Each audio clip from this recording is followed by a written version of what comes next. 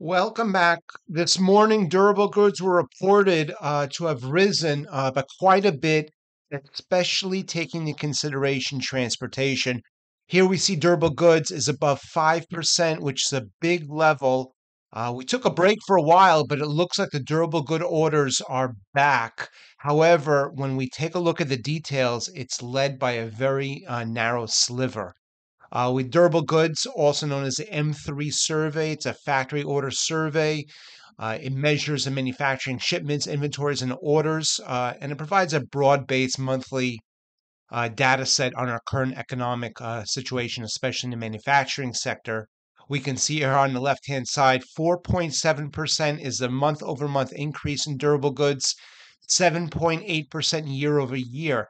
However, if you take out transportation month over month, only up 0.5%, only up 1.7 year over year. So it shows us the brunt of the durable goods, the vast majority of the increase is due to uh, transportation. Uh, one large, I believe it's Boeing order. Uh, you take that out, it's actually not so good.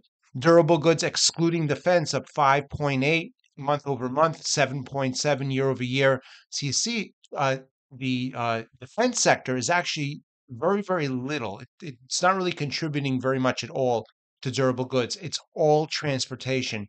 Here's durable goods month over month. We're at the highest levels we've seen going back to uh, late 2022.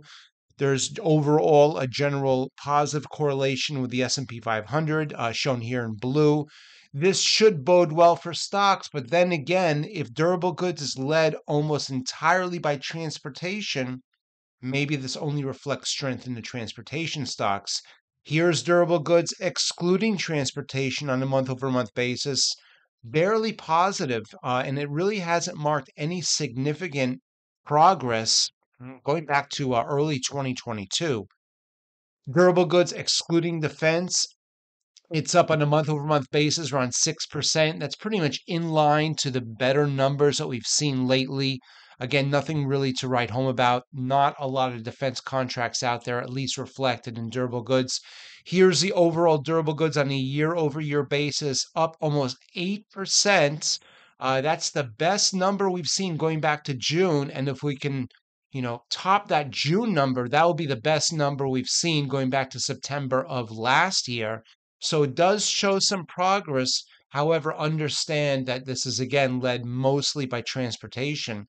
Excluding transportation, it is improving, but it's improving at a very slow rate. And the reason why all of this is important durable goods is a very important uh, number that the Federal Reserve watches in determining future interest rates. We've looked recently at the Empire State Manufacturing Index in New York, the Philly Fed in Pennsylvania, and those numbers have not been good. So it really does correspond with the weak durable goods, excluding transportation. Here's durable goods excluding defense. Looks very similar to the overall durable goods number, the best number we've seen since June, second best number we've seen going back to September of last year. Defense really is playing a very minimal part uh, lately. Here's transportation only in blue, defense only in red. And we can see that the highlight again is the transportation sector. It's the best number we've seen since June, and it certainly is trending high, higher. However, the question remains can we depend on this moving forward? We'd like to see the manufacturing uh, sector improve overall, not only in transportation. There's a lot of manufacturers out there that produce other things other than aircrafts, for example. Uh, so we want to see that you know that that take place. And again, the red histogram bars here show us those times when the durable goods uh, exceeds 5% on a year over year basis.